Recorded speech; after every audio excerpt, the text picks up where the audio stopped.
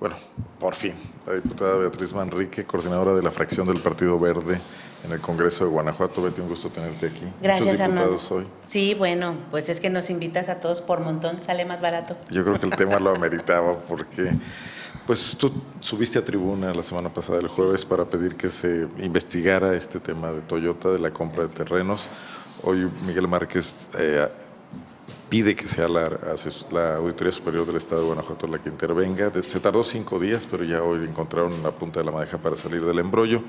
Y hace un momento le preguntábamos a Héctor Jaime Ramírez Barba, tu compañero diputado, si es posible ir más allá de esta adquisición que hace el gobierno del Estado a los propietarios o posesionarios de los predios que previamente, unos meses antes, pues en el caso de 295 hectáreas, ha habido una operación de gran calado de compra de terrenos ejidatarios por parte de una empresa formada en 2014, o sea, exprofeso para esta situación, y que contraviene lo que había dicho Miguel Márquez con todas sus letras, que no iba a haber intermediación, que se iba a comprar directo a los propietarios, pero nos dicen que eso ya no se puede investigar, que bajo las leyes de Guanajuato eso quedaría impune, lo que haya pasado ahí es borrón y cuenta nueva. A ver, yo creo que aquí es muy importante, Arnoldo, que diferenciemos. Eh, lo que hizo el Partido Verde el jueves pasado fue presentar un exhorto, una solicitud para que el gobernador cumpla con la obligación que plasma el decreto a través del cual se le autoriza hacerla desafectar y donar eh, los terrenos a favor de la Toyota terrenos que aún no compraban en ese momento o no del todo. Ajá, exactamente, no habían comprado en ese momento, pero bueno, era obvio que ya se conocía y muchos lo conocían, especialmente los especuladores, la ubicación de los terrenos elegidos. Precisamente basados en la desconfianza que generó todo el tema de cereales y pastas finas, que como dije yo ya se supieron el caminito, porque ese es el caminito, inventarse una empresa para eh, burlar al O aprovechar, porque la empresa ahí es este, a inventarse una empresa que, compre, sí, que compra, que compra los terrenos y luego los revende este, a un precio exponencialmente alto al gobierno. Este, nosotros presentamos un exhorto. Este exhorto lo que hace es exigirle al gobierno del Estado, a través de la Secretaría de Desarrollo Económico, tal como lo dice el decreto, que acuda a informar al Congreso los procesos y movimientos que están teniendo respecto de esta autorización que se le dio al Ejecutivo. El, PRI también subió a hacer un posicionamiento, pero lo nuestro es un exhorto. Al hacer un exhorto, lo que sucederá es que tienen que darle turno a comisiones. Esto que nosotros estamos solicitando no se contrapone con cualquier auditoría ordinaria o especial o integral que se pueda solicitar a este movimiento concreto de la adquisición y la donación de las tierras a favor de la Toyota. ¿Qué, es lo que está pasando aquí? Bueno, pues que nos estamos topando con el cinismo en su máxima expresión. Eh, me parece que fue muy desafortunado por parte del gobernador. un gobierno que postula tantos valores. Bueno, la benedicencia y quién sé qué tanta cosa, bueno, este, creo que es, un, poquito, ¿no? Como todos estos que oran tanto y a la hora de actuar friegan al prójimo, bueno, pues un poco lo mismo. ¿De qué sirve? O sea, hoy me enteré que el gobernador fue a dar una conferencia sobre la familia. Bueno, fue más bien sobre su familia, ¿eh? al final del día. Como, pues como, una familia modélica, ¿no? la familia, la familia, una de las maneras de integrarse en las familias. Entonces a mí lo que me parece es que no podemos estar como devaneando entre distintos discursos. Aquí lo que vale es qué tenemos a la mano con la ley. Y lo que nos estamos topando es que el Ejecutivo solicitó al Congreso la desafectación de una serie de terrenos que se iban a adquirir y que se iban a desafectar para donarlos a la Toyota. Esto, el Congreso dice sí, pero establece claramente ya ciscados con el tema de cereales y patas finas, sí, pero vas a tener que venir a informarnos cómo van los procesos, cosa que no se ha hecho hasta este momento. ¿Era hasta el final o se tenía que informar conforme se fueran dando pasos? Nos, fíjate que no, nos, no, está claro en el, en el decreto. Sin embargo, ahí dice tiene la obligación de informar. Este, este exhorto que yo estoy haciendo no se, no se contrapone en ningún momento con lo que la Auditoría Superior del Estado pueda hacer en materia de auditorías. Que también va a pasar por ustedes, porque está pidiendo una auditoría especial. Sí, desde luego. Desde luego tiene que pasar por nosotros. Dijo Héctor Jaime que hoy entró la solicitud en la mañana. Eh, a ver, yo no sé, yo no la he visto, porque por un lado me dicen que es la solicitud de una auditoría especial y por otro lado me dicen que lo que dice es que se suma a que van a informar que es la obligación que tiene el Ejecutivo en el decreto. Pero aquí lo más importante es hacer, eh, o sea, hacer notorio que la intención de engañar ya, ya estaba desde que acudieron al Congreso del Estado.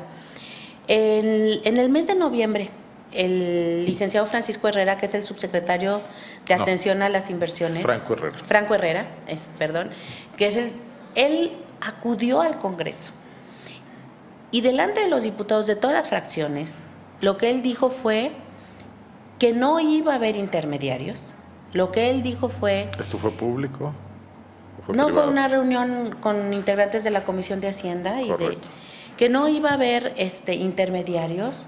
También mencionó que los precios se iban a basar en razón a lo que estableciera el INDAVIM.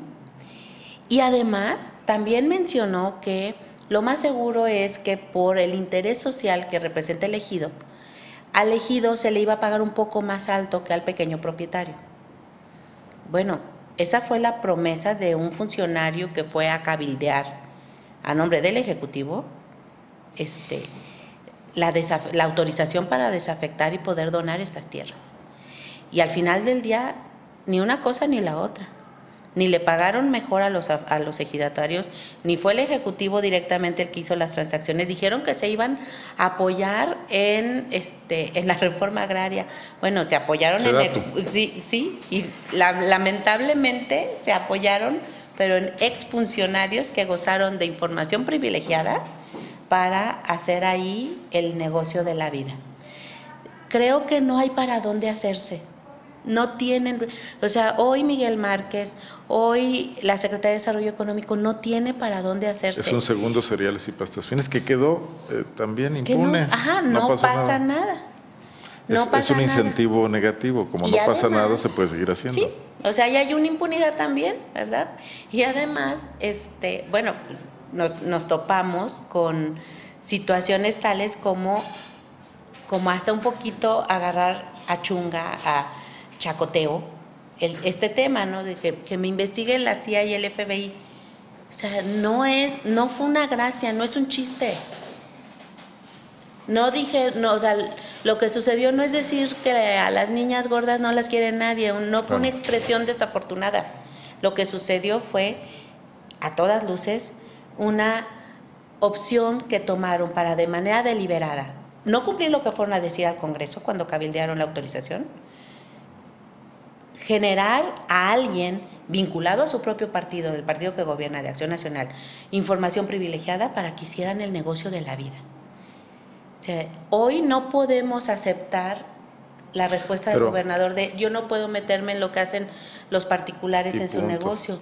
O sea, claro que puede meterse. Lo primero que tendría que hacer es investigar por qué esa empresa sabía exactamente en dónde iban a instalarse la Toyota.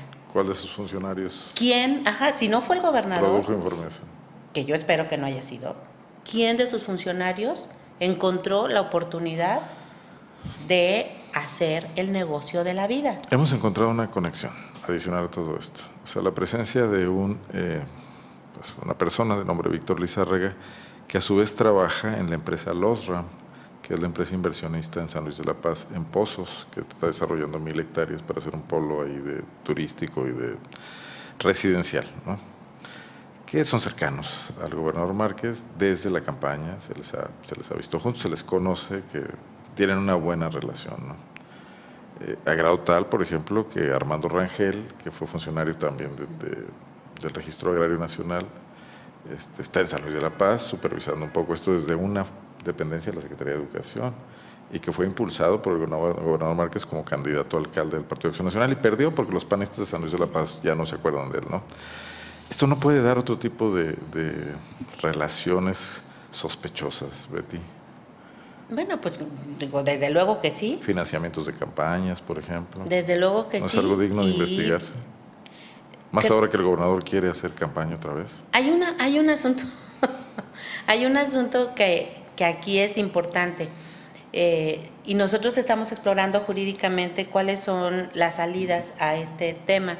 Eh, los asesores del Grupo Parlamentario del Verde están ahorita estudiando.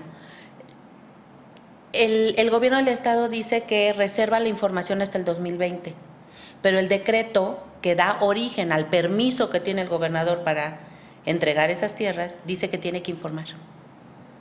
Entonces vamos a ver y ¿Cómo va- se resuelve vamos a ver cómo resolvemos. Hay que dirimir si O sea, si a ustedes les informan, esa información es de carácter público, la podemos pues, conocer desde, todos. desde luego tendría que ser así.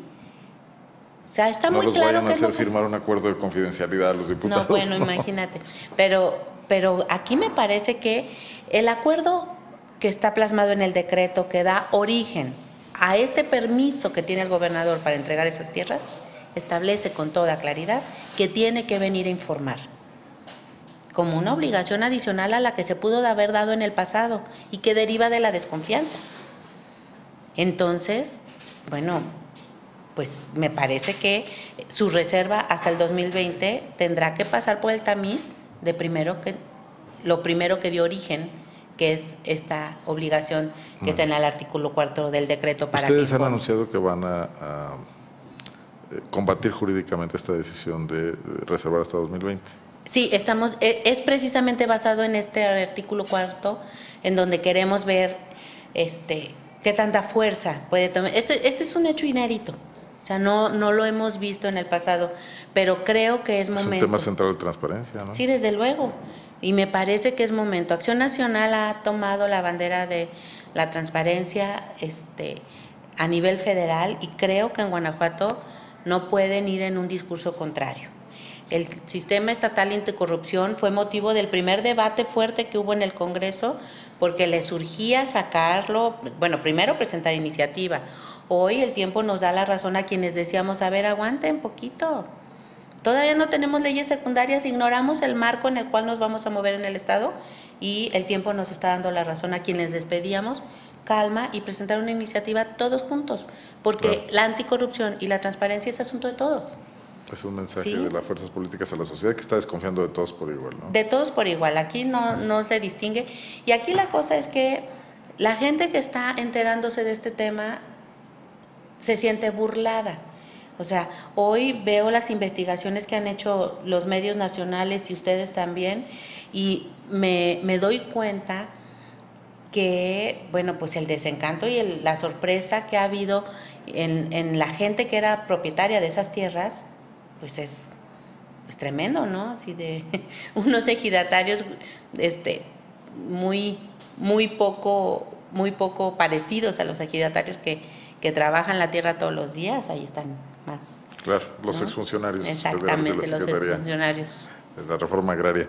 Betty, bueno, pues luego platicamos de otros temas, ¿no te Sí, parece? claro, hay mucho porque que era el platicar. tema central, pero te, te voy a invitar pronto. Sí, claro, ya, ya estamos aquí de ¿Querías regreso. decir algo de lo que comentaba Giovanna Bataglia hace rato? No, no, no, me realmente ni sé a qué vino Giovanna, es mi gran amiga, la quiero muchísimo. Este, yo trabajo mucho con ella El en todo lo que tiene que ver de con una los, política los jornaleros, claro. Para atender este, a los colonos indígenas. no que ya podemos es una realidad económica de Guanajuato. No, po- no podemos ignorarlos, son mexicanos. Este, y los niños viven realidades muy difíciles. ¿sí? Chamba que ya no hacen muchos guanajuatenses porque ya están trabajando en los campos de California. De acuerdo. Y cre- creo que ese es un área en la cual las políticas públicas tienen que cambiar necesariamente porque no porque no sean guanajuatenses de origen dejan de ser mexicanos sujetos a la protección del Estado y de, los estados a través de los cuales están pasando. Y ahí, bueno, desde luego, este, la Secretaría del Trabajo también tiene una chamba muy importante. No es solamente los gobiernos, las administraciones, sino la Secretaría de Trabajo, porque estas personas vienen contratados por particulares a llevar a cabo labores en el campo y aquí se tiene que cerrar la pinza. Lo que el gobierno y los gobiernos a través de donde pasan los jornaleros tienen que hacer y por otro lado la Secretaría de Trabajo tiene que apretar tuercas con quienes los contratan, que son los obligados en, entre- en darles en primera instancia condiciones adecuadas para realizar la labor. Muy bien, gracias. Muchísimas gracias. La diputada Beatriz Manrique es eh, coordinadora del Partido Verde en el Congreso de Guanajuato. Regreso.